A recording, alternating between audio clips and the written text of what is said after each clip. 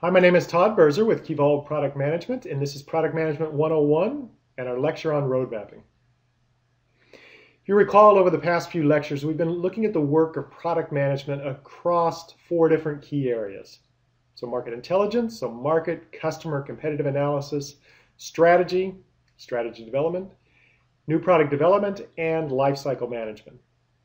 And in this set of lectures, we're going to talk about new product development. And we're going to break it up into three different components. So first is road mapping, then the actual development of those new products and services, and then launch. In this lecture, we're going to look at road mapping. And in particular, we're going to look at the process, the overall process of new product development. Uh, what are roadmaps? Um, why do roadmaps? Uh, kind of what the product managers, if, you know, what the product manager's role is in the development of roadmaps. And then we'll talk about how you actually develop these roadmaps and then the ongoing evolution and maintenance and management of product and service roadmaps. All right, let's look at the process of new product development. So there's a number of precursors to new product development to do it right. Um, all of the market intelligence that you guys have done that we that we talked about in terms of market, customer, competitive analysis, all of that work serves as a backdrop and a precursor to uh, you know intelligent new product design. And then also strategy. So you want to know kind of you, you want to know where you're going uh, where your company's going where your group's going where you want to take your product group. And then a technology assessment and this is typically done together with research and development or research and development leads that. And then also kind of cross-functional innovation ideas that you've gathered. So all of this feeds into road mapping and new product development and launch. So we start with road mapping. We're going to do that in this lecture. The road mapping sets the stage for the development of a particular new product or a service. And that, of course, sets the stage for launch out into the market. So that's the process, the top level process for new product development. Let's take a look at road mapping and, and, and in particular, what, what are roadmaps? So roadmaps are time-based charts uh, that show a planned evolution of a product or a service. And why, why would you want to do them? Well, you know, a lot of companies skip this step. They just go straight to new product development or new service development. You know, that, that, that I think is a mistake. Um, it's important to decide where you want to take your technology investments, where you want to take your new product development investments and prioritize those and say these are what we want to do and this is our, our, our vision of how our products and services roll out over time. So you end up with prioritized technology investments that kind of do what you want to do as opposed to just kind of what uh, you, you've kind of collected over time. And then you know the, the result is what product managers want to do and that's breakthrough market leading products and services. And and the consequence of that is long-term sustained competitive advantage Road, maps, road mapping is a critical step. It's often one that's overlooked by companies. So as a product manager, what is our role in this process? So, you know, developing roadmaps should be a joint effort. It should be jointly led by product management and your research and development counterparts, whoever's developing your products and services. So it should be jointly led. If your R&D teams are not stepping forward, uh, if your management is not, if they're not stepping forward, then then you need to do so. Product management needs to do so. Let's take it step by step. So road mapping. The first step is that you establish a road mapping team. So this is a small team of senior product managers, maybe yourself and your R&D staff. You establish a small road mapping team, might be three to four to five, six people, something. It's a fairly small set of people that are really taking a focused look at this. Then you review your market intelligence, all that work we talked about earlier, some market growth, what's your market growth, what are the customer trends, where do you think your competitors are going, uh, what's happening to uh, the technology, uh, and also you work with you, you, you review your strategy. What are you doing with your, your top level company strategy, your uh, your business unit strategy, your product group strategy? All of that helps guide roadmap thinking. And then also, you know, you're collecting your innovation ideas. This can come from a lot of sources, from your, your research and development counterparts, from, from product management, from your from your your mark your your outbound marketing teams, from uh, your sales teams, from manufacturing, lots of sources for innovation ideas. You start by reviewing that, and then you get on a whiteboard and you start sketching this out. So, you know, where do we think we're going to take our products and services over time? You just sketch it all out. And we'll talk about this in a minute, what this looks like. And then you develop a final version. Now, you're not done here with these four steps. You still need to manage these roadmaps and evolve them uh, over time. Uh, we'll talk about that a little bit later. So that's road mapping step by step. Let's go ahead and dig in. So let's start. A roadmap can look like this. So you've got the time-based element on the x-axis. On the y-axis, we're going to divide it up into three different levels. So the first is kind of technology and platform. The second is products and services. And the third is market and application.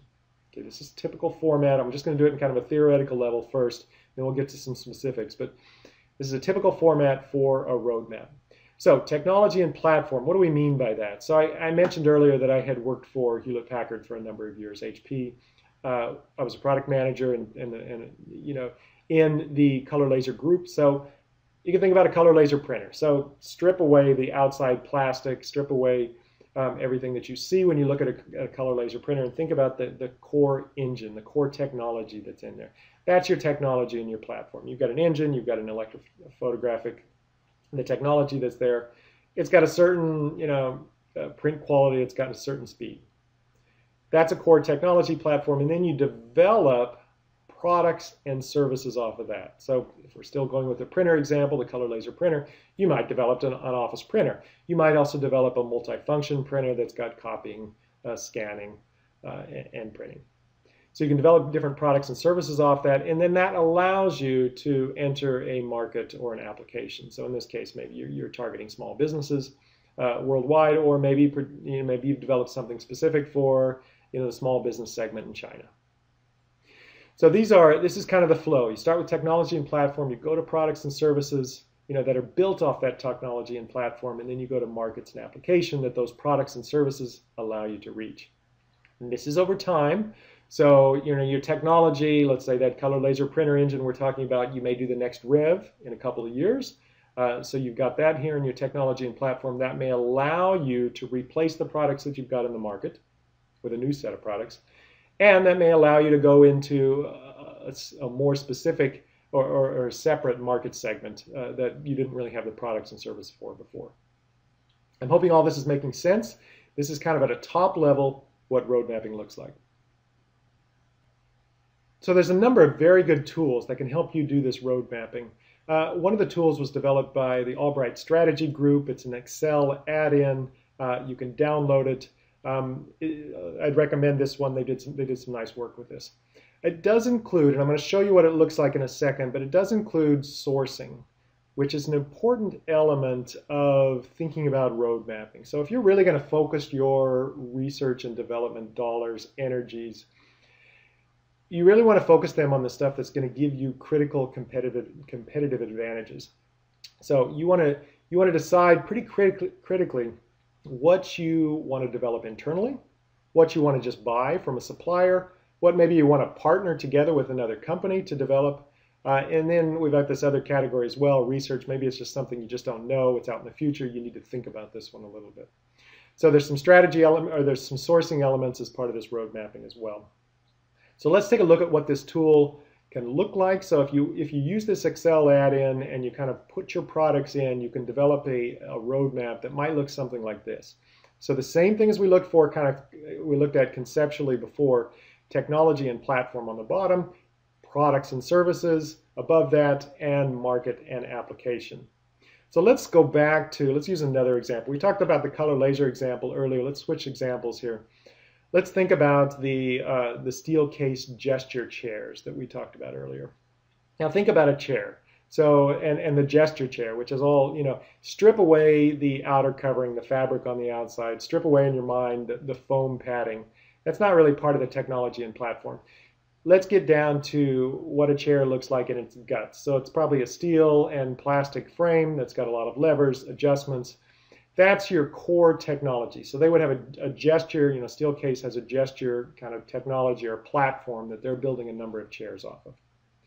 And here we called that core technology A. So that if in Steelcase's uh, example, that's that's their gesture chair. Then they've developed a number of products off, to, uh, off that. So they developed the whole gesture product line. You know, I'm sure that they've got different configurations with different foam, different coverings. Maybe it's a leather covering, maybe it's a fabric covering, different colors. They've developed different products off that core technology platform. And they may replace those over time. So, you know, over time, you know, they may develop, uh, you know, separate products or, or replacement chairs, you know, with improvements. And they may add services to that. So, you know, maybe there is a service where uh, that they that they're looking into, where they want to uh, manage the office furniture of, of institutions, libraries, whatever, and that includes these chairs. And that allows them; these products and services allow them to reach out to a market, you know, the, the office chair market or the institutional chair market.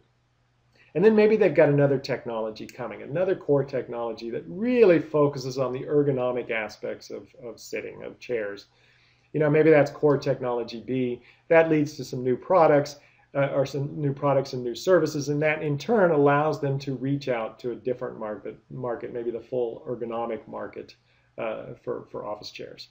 So that's an example, kind of roadmap example. When you use the, the kind of Excel add-in that we talked about, you'll you can develop for your own products and services a roadmap that looks like this.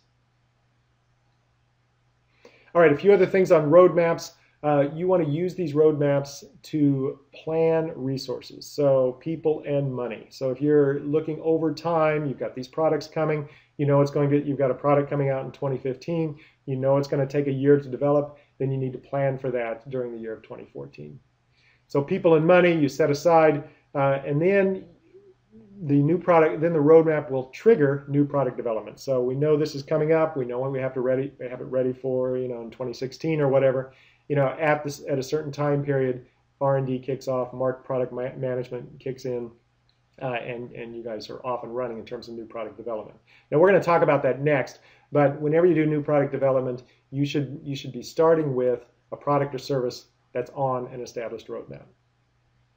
And then you need to keep these updated. So if you just do it once, if you get your small road mapping team together once and do this, um, you know, it's going to get stale. It's going to get outdated over time. There's going to be competitive entrants. You're going to find out new things about your own technology, what's working in the market, what's not. You need to review. You need to update. You need to evolve these roadmaps. You probably do it over every three to six months.